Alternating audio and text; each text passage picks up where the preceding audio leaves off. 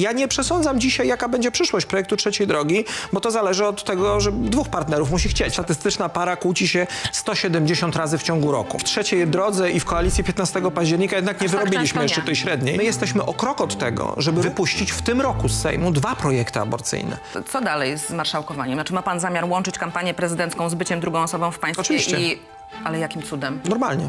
A prezydent Warszawy to wypadł komuś spod miotły? Dlaczego Hołownia mówi cztery mniej? Dlatego, że na cztery mniej nas oceniam dzisiaj. O tym, że Wigilia będzie 24 w tym roku, myśmy wiedzieli od jakichś 2000 lat.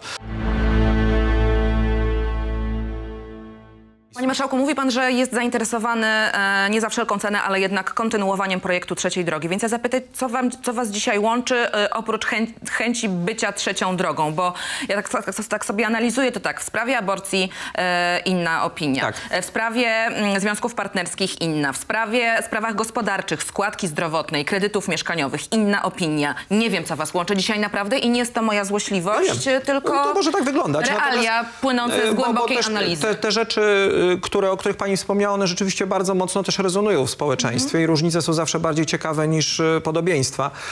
Y, Są rzeczy, które nas łączą. W przypadku składki zdrowotnej dużo więcej niż by się wydawało. W przypadku akademika za złotówkę. W przypadku ochrony zdrowia, tak, my mamy 12 gwarancji, na które się umówiliśmy, a większość tych rzeczy, które nas dzielą, są poza. I ja nie przesądzam dzisiaj, jaka będzie przyszłość projektu trzeciej drogi, bo to zależy od tego, że dwóch partnerów musi chcieć, tak?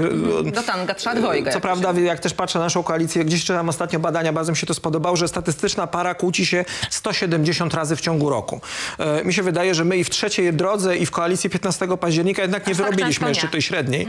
Więc to są normalne ludzkie rzeczy. Natomiast tak, różnimy się, jeżeli chodzi o aborcję, ale proszę zwrócić uwagę, że my jesteśmy o krok od tego, żeby również w porozumieniu, ze, bo, to, bo to i PSL jest potrzebny do, tego, do tej gry, wypuścić w tym roku z Sejmu dwa projekty aborcyjne. To nie jest tak, że nic z tego nie wyjdzie. Jeżeli się wszystko uda i wszystko się tak poukłada, w przyszłym tygodniu mamy czytanie dekryminalizacyjnego e, po raz drugi, to my możemy mieć uchwalony projekt trzeciej drogi i dekryminalizacyjny. W tym roku może to się stać. Jeżeli chodzi o ustawę o związkach partnerskich, jest projekt rządowy. E, e, PSL ma położyć swój projekt, czekam na niego, który tak naprawdę się chyba tylko będzie różnił nazwą e, od, od albo prawie tylko nazwą od tego projektu rządowego. Ale dobrze, będą dwa projekty. To będzie pierwszy Sejm, w którym wreszcie coś uchwalimy w tej sprawie. Ja uważam, No że trzeba iść... marszałek Zgorzelski tutaj u mnie powiedział, że wszystko wskazuje na to, że impas zostanie przełamany, po dobrych rozmowach ale proszę zobaczyć, no i Wielichowską mamy, różnicę w tym, mamy różnicę w tym, a na koniec się po trzech miesiącach okazuje, okej, były różnice, ale przegadaliśmy to i można z tego wyjść. No to a propos tych y, uregulowań jeszcze i umów w koalicji, bo pan mówi, że umów należy dotrzymywać, więc rozumiem, że oddaje pan em, marszałkowanie Włodzimierzowi Czarzastemu. Y, No, wszystko na to wskazuje, że tak właśnie będzie. Lewica Ale- co prawda jest teraz dość, powiedziałbym, trudnej sytuacji, bo, bo mocno się kruszy i, Mhm.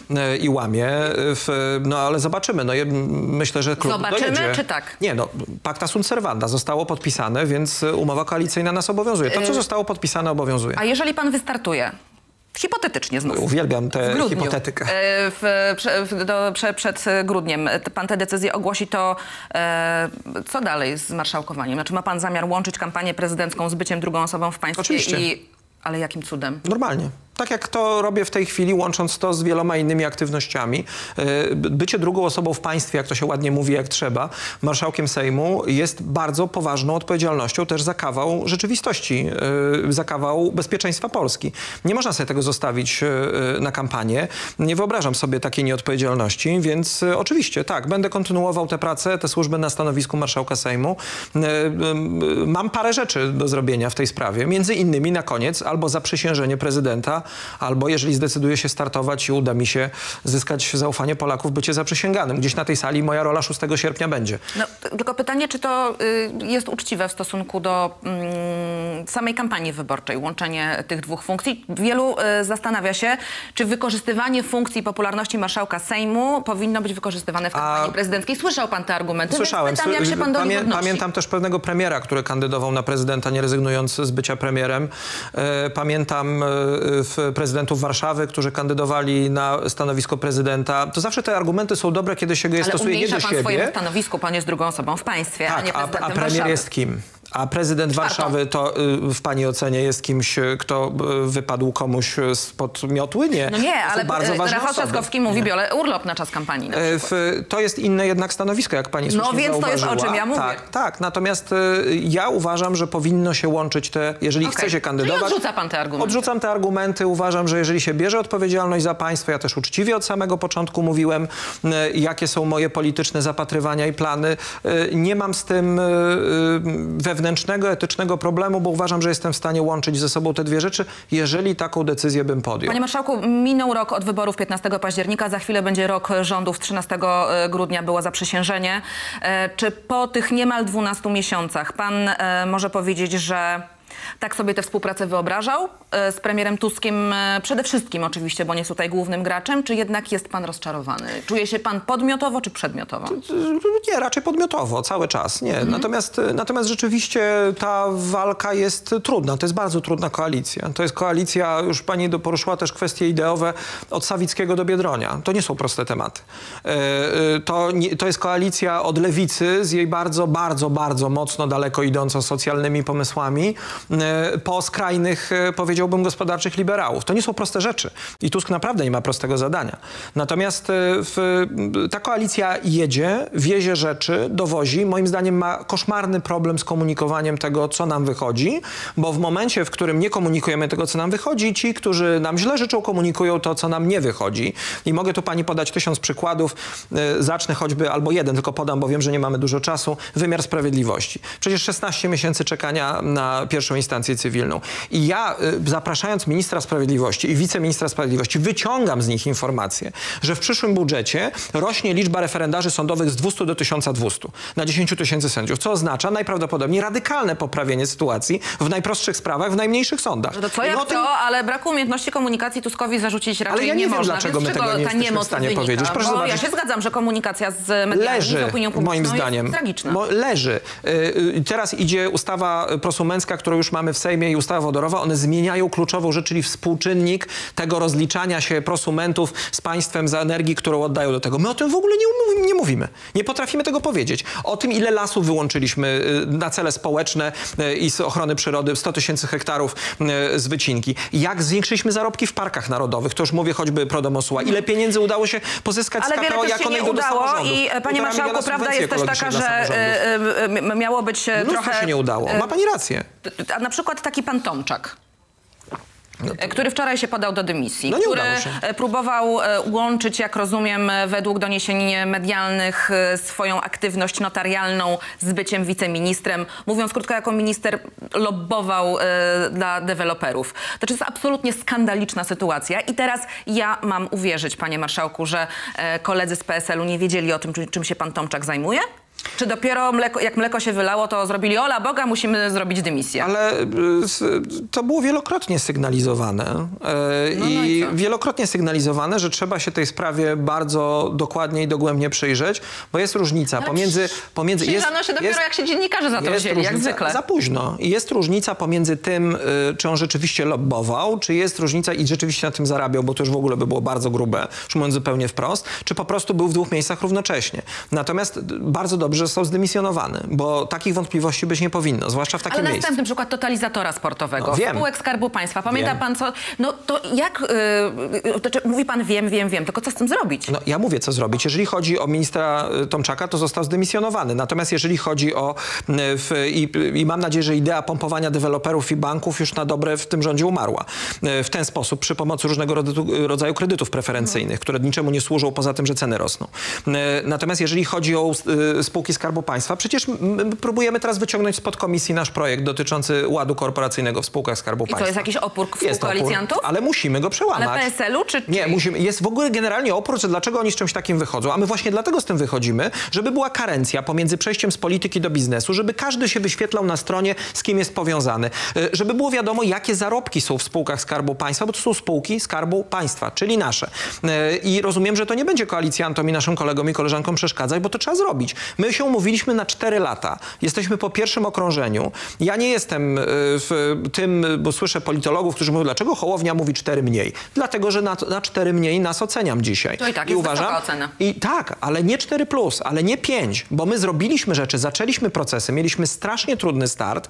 Y, No dobrze, tylko że my się kiedyś musimy przestać No i macie tłumaczyć, czy lokatora Pałacu tłumaczyć. Prezydenckiego, który jest ostatnim ogniwem legislacyjnym. będzie y, blokował Choć do, do stwierdził, sierpnia. że pomysł wolnej Wigilii 24 grudnia jest e, pomysłem bardzo dobrym i że taką ustawę podpisze bez względu na koszty.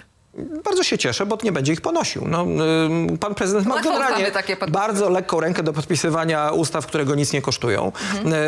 Y, zobaczymy. Projekt poselski w Sejmie jest. y, To nie jest projekt rządowy. Jak się zachowają partie Ale jeszcze... pan jest entuzjastą tego pomysłu? Muszę o nim pogadać z obiema stronami, bo tutaj jest bardzo silny sprzeciw ze strony przedsiębiorców i b- bardzo mocne wsparcie ze strony choćby pracowników sieci handlowych. Trzeba o tym porozmawiać i mam nadzieję, że to będzie bardzo dobry wstęp do tego, żeby porozmawiać o y, y, niedzielach handlowych i tam wiele mm, argumentów merytorycznych padnie. Ja tylko przypominam, że, my się, że, że o tym, że Wigilia będzie 24 w tym roku, myśmy wiedzieli od jakichś 2000 lat. Y, więc y, nie rozumiem, dlaczego akurat w listopadzie musimy o tym na prędce rozmawiać i zastanawiać się, No pan dlaczego na tym posiedzeniu Sejmu ma lekką zadyszkę, więc może to jest jakiś pomysł Być może. na pozbycie się jej po Być, prostu. by, być może chce się pozbyć rzeczy. Okej, no więc czekamy. Jak pan odpowie na argument, że ten Sejm jest bardzo leniwy i przyjmuje niewiele ustaw? Durny argument. Ten Sejm pracuje, w, oczywiście ten Sejm musi pracować na czymś, co ma. Y, Ten Sejm pracuje na ustawach, które przychodzą z rządu. Przycho oczywiście posłowie też mają swoją kreatywność. Natomiast, y, żebyśmy mieli jasność, tych ustaw będzie jeszcze mniej uchwalanych. Dlatego, że spowalniamy proces legislacyjny. Stawiamy na jakość, a nie na ilość. Mieliśmy przesterowanie, biegunkę legislacyjną, za którą najtężsi prawnicy nie nadążali. Teraz, wczoraj ogłosiliśmy na przykład to, że będą konsultacje społeczne. To jest pionierstwo w Europie. Tego nie ma. Parlamenty nad tym pracują. Tego nie ma nigdzie w Europie. Każdy od 1 listopada, w zasadzie od dzisiaj, logując się profilem zaufanym, będzie mógł skomentować każdy projekt poselski, każdy jego artykuł i będzie to wzięte pod uwagę e, w procesie stanowienia prawa. E, Teraz nie można już uchwalić ustawy na jednym posiedzeniu, chyba że Sejm się zdecyduje wyjątkowo terminy skrócić. Teraz trzeba dwóch posiedzeń co najmniej, żeby ta ustawa dłużej wisiała w internecie, żeby ludzie mogli się do niej odnieść, a nie wpada rząd na dzień przed Sejmem. Ja to przerabiałem i prosi, słuchajcie, zróbcie nam szybko tę ustawę, mamy trzy dni. Ja kiedyś byłam korespondentką sejmową, dziś ci, którzy tam w Sejmie e, pracują, e, no mają do pana ogromny żal, że była próba e, ograniczenia wolności mediów i możliwości e, spotkania i nagrywania e, z politykami, e, którego to ograniczenia nigdy nie powinno być. E, Pamiętamy wszystko, co działo się za czasów No Prawa tak, i tak. Sprawiedliwości. Pan tłumaczy, że takich planów nie było. Ja gdzieś tam mam takie poczucie, oczywiście nie muszę mieć racji, że po prostu musieliście wybrnąć z kryzysu, więc Ale skąd? No to, to ja bym chciała, żeby pan ale złożył przecież ja wczoraj poszedłem, poszedłem i skonfrontowałem się z dziennikarzami wszystkimi, którzy tam byli, Tak. powiedziałem im jak było. Z dużą Jasno. ironią mówiąc, najbardziej uciemiężona grupa Nie no, zawodowa. dziennikarze nigdy w Sejmie nie mieli tak łatwego dostępu do polityków, nigdy nie mieli takich warunków do pracy i bardzo o to dbamy. I ktoś, Ale kto wielu mówi, z nich twierdzi, że deklaracje nie pokrywają nie, nie. się z rzeczywistością. Jak się nie pokrywają? Spotykam ich codziennie na korytarzu marszałkowskim, który podobno ma być zamknięty i nigdy już więcej nikt nie ma prawa tam mieć wstępu.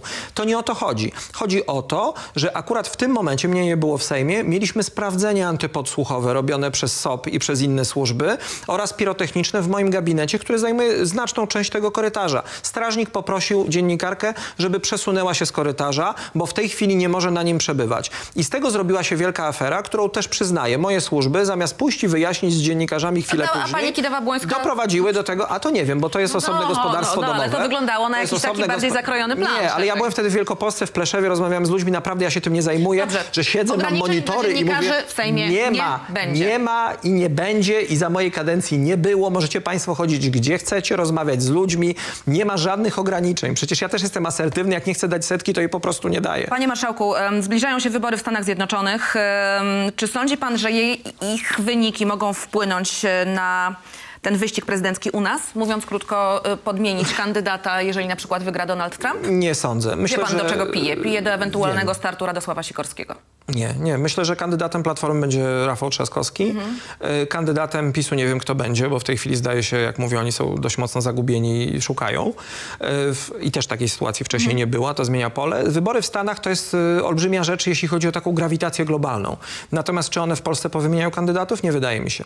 My dzisiaj w Polsce y, już przeżywamy te wybory prezydenckie, ale powtórzę, one są za 7 miesięcy i one nie są o partiach politycznych. One są o tym, czy będzie ktoś, kto będzie rozumiał ludzi ze sobą spotkać do wspólnej pracy, czy będzie przedstawiciel tego czy innego środowiska, to o tym będą te wybory. Siedem miesięcy w polityce to jest wieczność. E, y, Proces ruszy w styczniu. Ja mam okno na, na, na rozpisanie tych wyborów między chyba 6 stycznia a 6 lutego. E, Wybory mogą być w maju. E, Pierwsza tura w zasadzie nie może być w innym miesiącu, tylko jest kilka terminów majowych do wyboru. wyborców pewnie panu powiedziało, im Zobaczymy. wcześniej, tym lepiej. Ja szczerze jestem podobnego zdania. Uważam, że nie ma co przeciągać procesów, trzeba iść, załatwiać, niech się dzieje, jak ma być kampania, ma być ku po prostu kampania. pierwszemu możliwemu terminowi, Y, tak? Jak najszybciej w ogóle rozpisać wybory, jak najszybciej zrobić te wybory. Naprawdę trzeba przeciąć tę historię.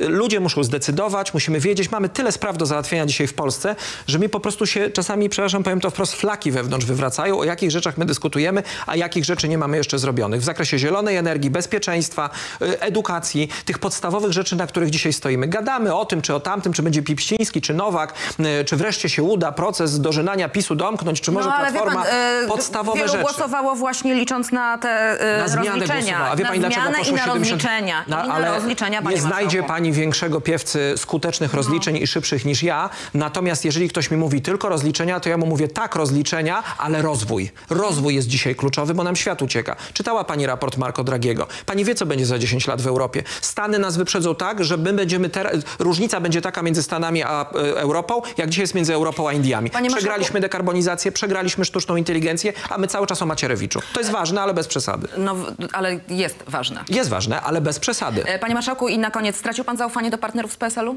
Czy pan Nie. jeszcze je ma? Czy ma pan Znaczy, zasadę ja mam- już ograniczonego Ja mam przede wszystkim bardzo dobrą y, i naprawdę bardzo dobrą relację z Władysławem Kosiniakiem-Kamyszem. Uważam, że to jest bardzo uczciwy, w porządku facet. Natomiast jak Ale poukładają się, wiem. Natomiast y, jak zdecyduje PSL w sprawie poparcia w wyborach prezydenckich, to proszę pytać PSL-u, PSL zdecyduje. Y, Wiedzą, y, jakby moje karty leżą u nich na stole, wiedzą, co mają zrobić. Jeżeli ktoś chce być częścią drużyny, zapraszam. Jeżeli nie, to nie.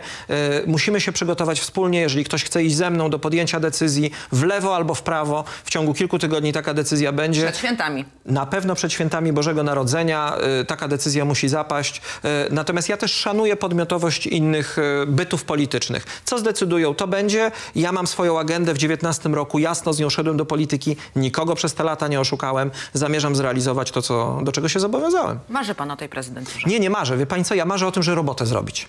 E, I jak mi się uda, to zrobię ją tu, a jak mi się nie uda, to zrobię gdzie indziej. Ja naprawdę nie będę wiecznie w polityce i mogę to pani dzisiaj y, solennie nie, no, ale rozkochał pan się trochę w polityce. no, panie marszałku, proszę mi tutaj ale, nie opowiadać Wie pani, to, to opowiedzmy y, sobie... Tak jak o- ja bym pana powiedziała, że, pa- panu powiedziała, że nie lubię kamery. No, kłamałabym. Ale ja też na przykład bardzo lubiłem robić NGOsy. Ja bardzo lubiłem robić telewizję, pisać felietony, robić... Nie, absolutnie. Nie. Ja uważam, że władza to jest tylko i wyłącznie krzyż i odpowiedzialność. To, co ja mogę robić, to kontakt z ludźmi. Ja go kocham, ja go uwielbiam. Bycie z ludźmi, rozwiązywanie, rozmawianie z nimi, otwieranie ich. No to w to jest, to jest moja mógłby pan chemia. równie dobrze pracować. I być może będę. I być może będę. Natomiast dzisiaj jestem tu, gdzie jestem, po to, żeby zrobić robotę, którą mam zrobić. Natomiast proszę mi wierzyć, że ja naprawdę mam różne pomysły na życie. Jeżeli ludzie zdecydują, twój pomysł na życie niestety nie jest dzisiaj w polityce, proszę mi wierzyć, że z pokorą go przyjmę, a moja rodzina będzie zachwycona. Natomiast dzisiaj jest czas walki. I dzisiaj jest czas rozstrzygnięć w wyborach, które nadchodzą. Mamy akurat za chwilę prezydenckie, później parlamentarne. Zobaczymy. Natomiast nie będę wiecznie pani gościem. Proszę być o to No ale mam nadzieję, że pojawi pan się spokojną. szybciej niż ostatnio. Wiem, że pan miał dużo obowiązków, ale no, Tęskniłem. y, Myślę, że czas, żeby nadrobić ten nadrobić. stracony czas. e, No, w poszukiwaniu straconego czasu musimy wszyscy czasem Dobrze, się to udać. umawiamy się, że jak już pan ogłosi te decyzje, to się zobaczymy, dobra? I wtedy porozmawiamy o A jak będzie na nie, to kampanii. co, też porozmawiamy? oczywiście. Fajnie, jesteśmy zawsze. umówieni. Proszę być Dzięki. przekonanym. Szymon Hołownia, e, marszałek Sejmu Rzeczypospolitej Polskiej, lider Polski 2050, gościem Ekspresu Biedrzyckiej. Państwa gościem, dziękuję bardzo. Bardzo dziękuję. marszałku.